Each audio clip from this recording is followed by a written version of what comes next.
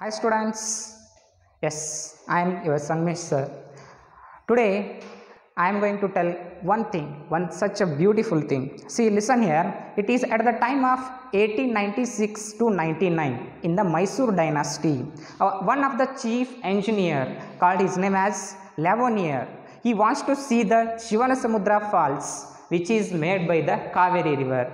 Why? Because he wants to see, he wants to enjoy the beautiness of that falls. So he decided to go to visit that Shivanasamudra falls. Yes, he want one nice Sunday at a evening time, he used to see, he used to walk with uh, their subordinates and go to the Shivanasamudra falls to enjoy the beautiness of that Shivanasamudra falls okay he go to that falls and he watching the uh, the waterfalls how it is falling.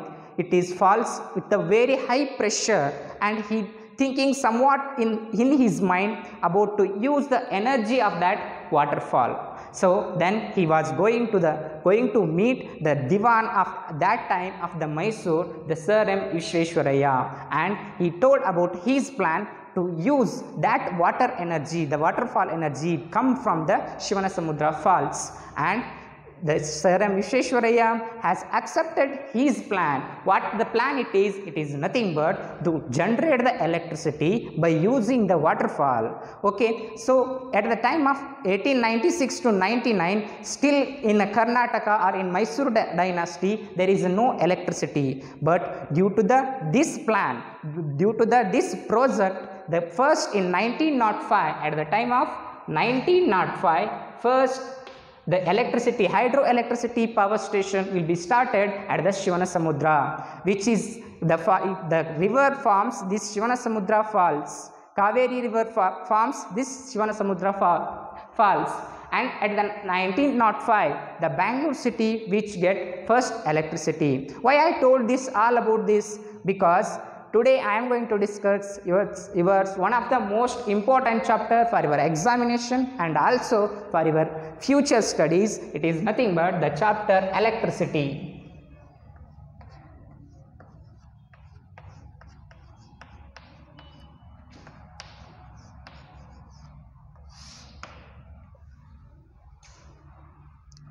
Electricity, it is a part of physics which deals with charges Basically, electricity have a two parts. One is static electricity that is nothing but electrostatics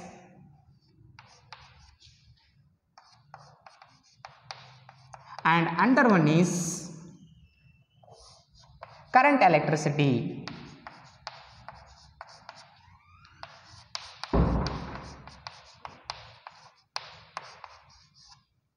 What is static electricity? See, the name itself says static. Static means constant, stable. The static electricity deals with the static charges. Static charges. But current electricity deals with the moving charges. That is flow of charges.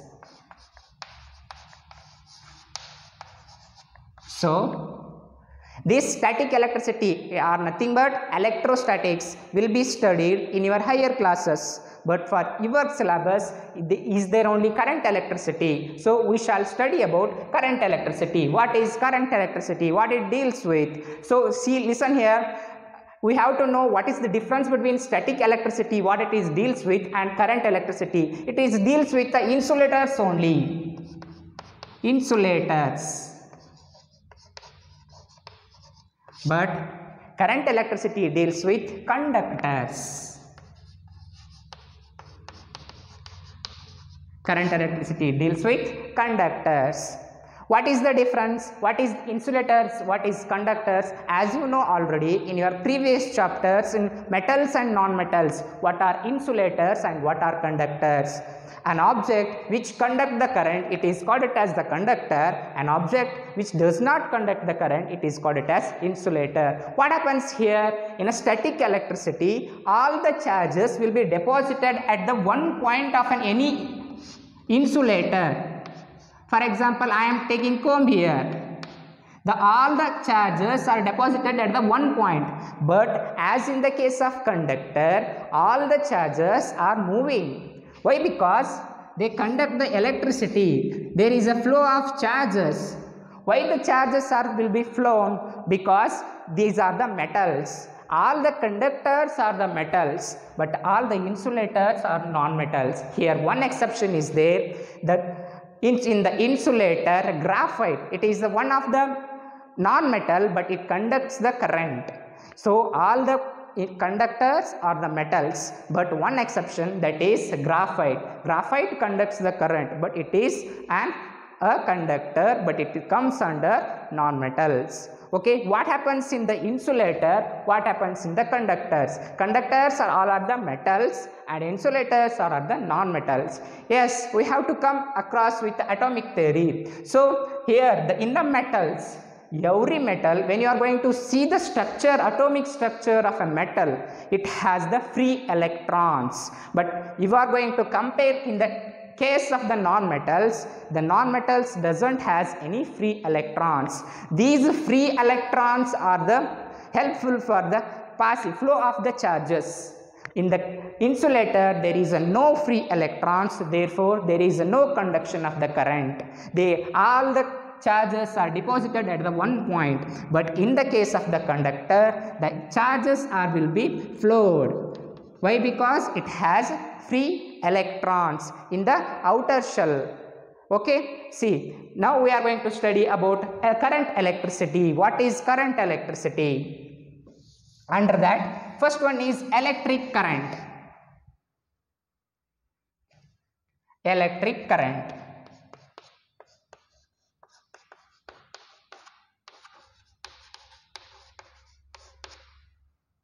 That is the denoted by the letter called I, capital I. What is electric current? The rate of flow of electric charges in a unit time is called as electric current. The rate of flow of electric charges in a unit time is called as electric current. That is denoted by the letter called I. That is I is equal to the rate of charges, flow of charges divided by the time t that is time in a unit time. Here charges. Charges will be denoted by the letter called q. And the time will be denoted by the letter called t. That is i is equal to q by t. Here question arises. How the charges will be flow through an a conductor how the charges will be? Flow through an a conductor imagine a pipe. Imagine a pipe. Okay? Let us imagine this is an a transparent pipe a plastic pipe. Okay? So you have to so here is water supply is also there. You have to imagine that here the pipe contains some water supply Can we see the flow of water through the transparent water pipe? Can we see? Yes, we can see the flow of water drops or water molecules through the pipe. Then that's like, you know, that's way in a conductor, the charges are also will be moved.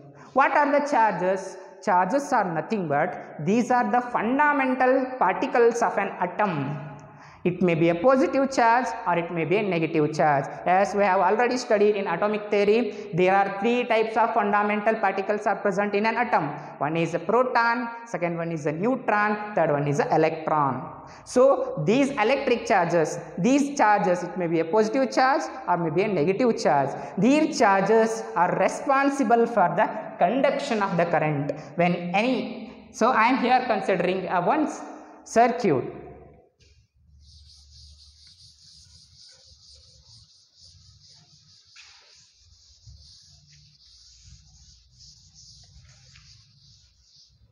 Here I am considering one circuit. Take an electric cell or a battery. It will be connected with a lamp.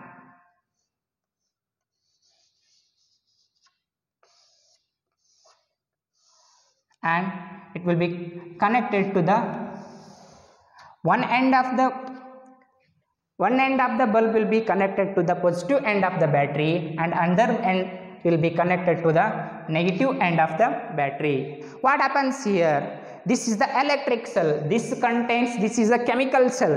It's, it has the charges. The conductor, it is a good conductor. It is a made up of a metal. It may be a copper wire or it may be aluminium wire, whether it may be. So, the charges which are present here will be flow through the conductor flow through the conductor in this direction. Why? Because the if we are considering here positive charges these are attracted by the negative charges.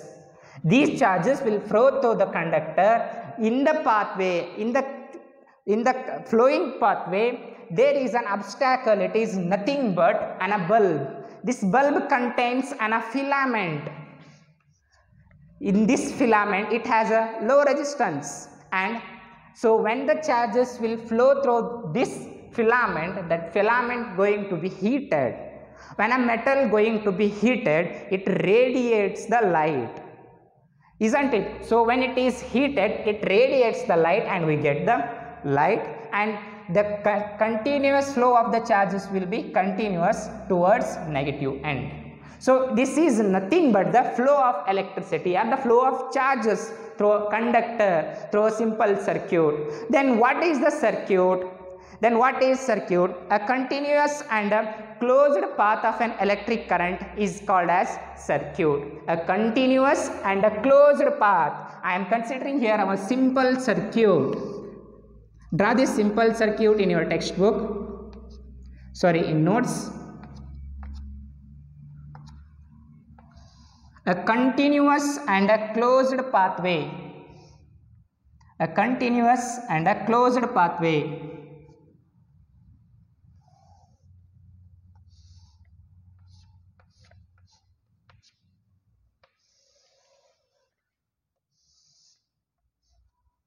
A continuous and a closed pathway of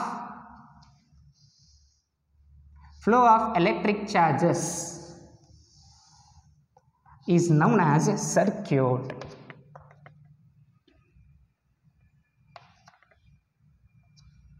Here it is a lamp, this is the key, this is the battery, this is the positive end, then that is the negative end. This is the simple circuit diagram. What is a circuit? A continuous and a closed path of an electric current is called as electric circuit.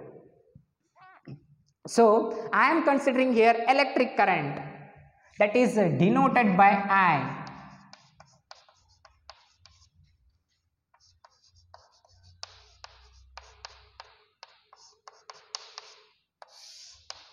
See, listen here.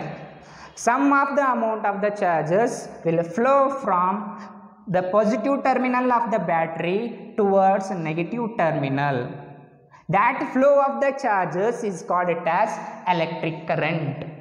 Okay? So we have to find out electric current. How much of amount of electric current will be utilized by this bulb to glow? Is by calc by using the formula electric current is equal to that is i is equal to q by t because we know that what is electric current? The rate of flow of charges in a unit time is called it as electric current. Okay? So now, i am considering some amount of the charges. It may be a 20 coulomb. 20 coulomb of the charges will flow about a time of 3 minutes. Uh, how much of the electric current will be utilized to glow the light that will be asked in your in your examination two marks questions. Now we are going to discuss some of the problems on that by using electric current formula. So in the in that case in some cases they may ask electric current they if they give charge and time they are going to ask electric current. If they are going to charge if they are going to electric current if they if they give electric current that is i and they give the time t. Then they are going to ask what is q is equal to what? That is how much charges will be flow through the conductor? By using again we are going to calculate this problem by using the formula q is equal to i into t.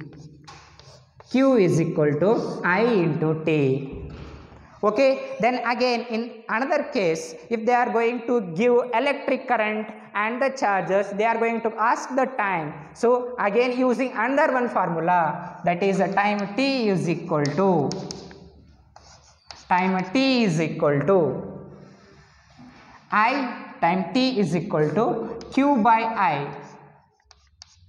By using this formula we are going to calculate the time you are going to calculate the time. So next we are going to discuss some of the problems on this formula.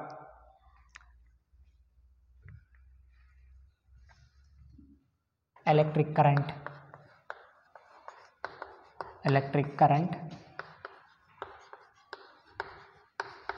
I is equal to q by t. So based on this formula now we are going to study some examples on that. Take down now consider first example. Calculate calculate current supplied by calculate current supplied by current supplied by a cell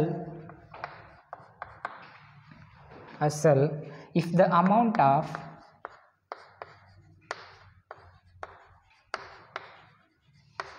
if the amount of charge if the amount of charge passing passing through the cell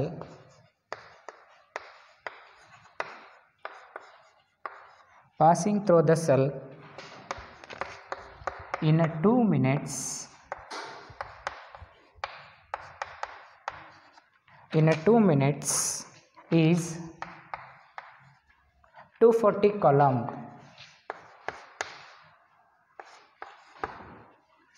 See listen students. From this chapter this type of questions should be asked for your examination for 2 marks. So you have to concentrate. It is a very very very simple questions and you can get 2 marks from this question. So you have to understand the question first what they are going to ask for you. And you have to write down the given data what they are going to give to calculate to you. And you are going to assess which what what is the factor they are going to ask for you. Okay? First i am considered see solution given. What they are given. Here once again you have to look at the question. Calculate the current is supplied by a cell.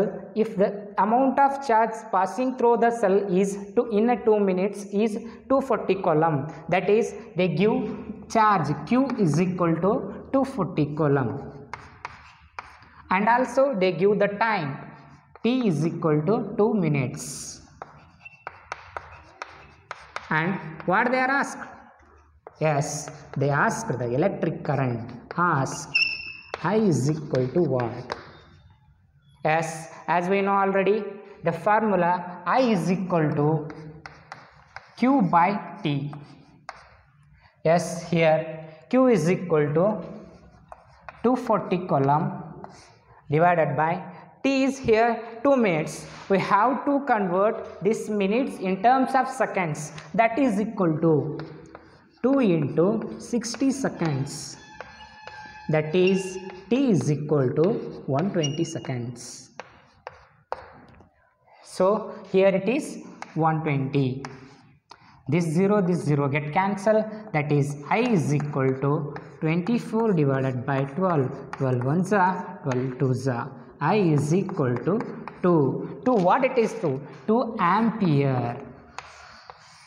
The SI unit of electric current is ampere. So we should write the unit. In your examination also you should concentrate on the answer. You have to write the unit. If you are not write this unit you are going to lose your marks. You are going to lose one mark. So it is a very simple question. It can be asked for your examination for two marks. You have to concentrate these type of problems. Again look back. What they are given what they are asked it is very simple to solve. Okay? Next we are going to consider another one example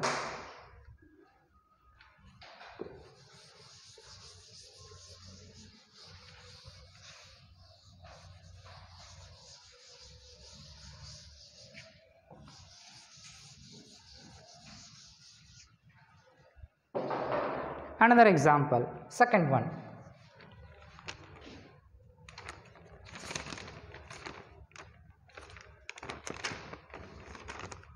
What will be the time taken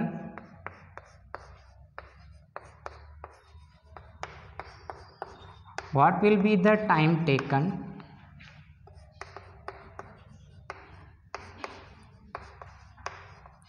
what will be the time taken of of current drawn from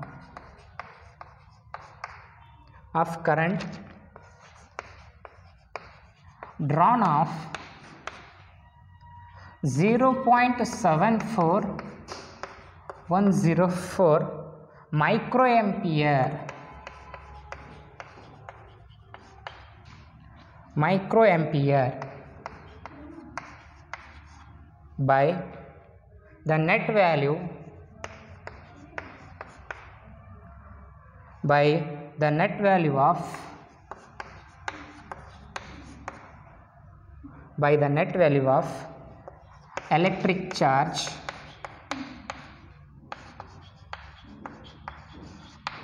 by the net value of electric charge as 1000 coulomb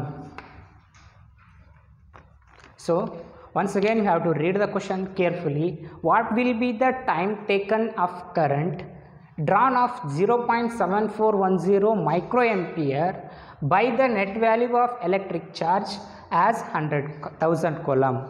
See again, see the solution. Again, write down the given data. What they are given here?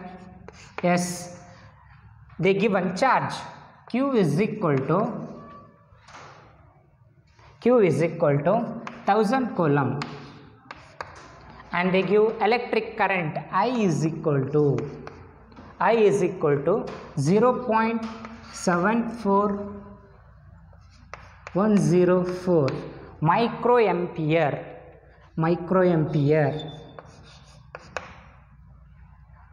And then see my microampere means 0.74104 into 10 raised to minus 6 amperes. Okay? See what we are going to calculate? The time t is equal to what? See again by the formula given formula t is equal to t is equal to q by i. Isn't it? Substitute the given data in the formula. q is equal to what q is equal to 1000 divided by 0.74104 into 10 raised to minus 6 why i am taking here into 10 raised to minus 6 because 1 milliampere or 1 ampere is equal to 10 raised to minus 6 microampere so that's why I am taking here 0.74104 into 10 raised to minus 6 amperes. So again look at the examples. See how we are going to easily solve this one. 1000 it is nothing but we are going to write it as 10 raised to 3 divided by 0.74104 into 10 raised to minus 6 transfer this 10 raised to minus 6 to the numerator it becomes positive. 1 into 10 raised to 3 into 10 raised to 6 divided by 0.74104 that is equal to 1 divided by 0.74104 into 10 raised to 10 raised to 3 into 10 raised to 6 that is a raised to m into a raised to n a raised to m plus n 10 raised to 3 into 10 raised to 6 it is nothing but 10 raised to 6 plus 3 that is 10 raised to 9 so that is equal to that is time t is equal to 1.349 into 10 raised to 9 seconds this is the final answer what we get.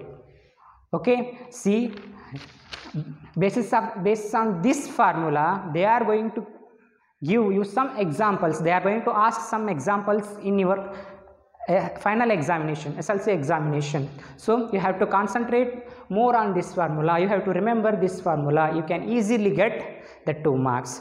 Now we can consider another one example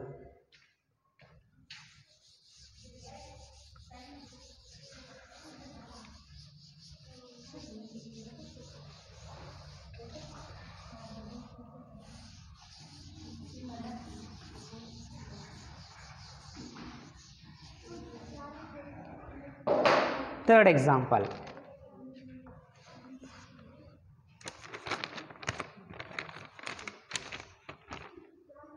In how much time?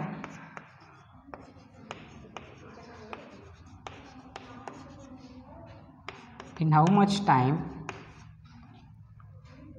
6000 6000 coulomb of? 6000 coulomb of electric charge. Electric charge will flow will flow if an if an electric current of if an electric current of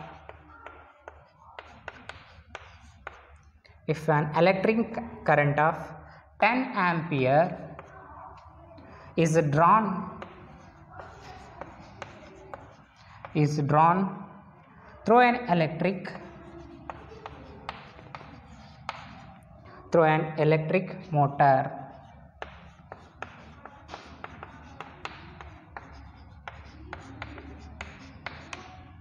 Once again you have to read the question.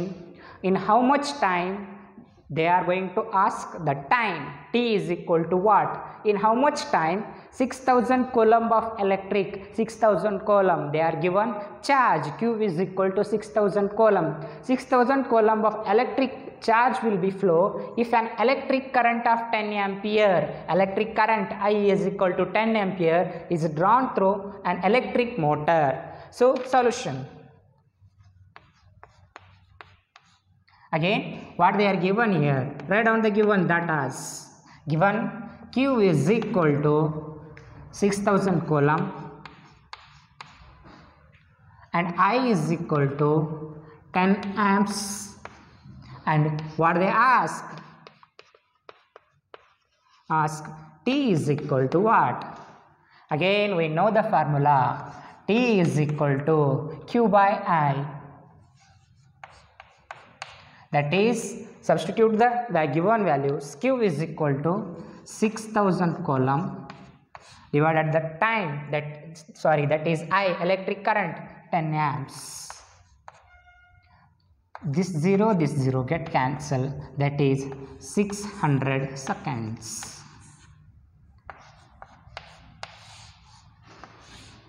These are very simple problems which are asked in your examination for 2 marks question. You have to concentrate on this formula.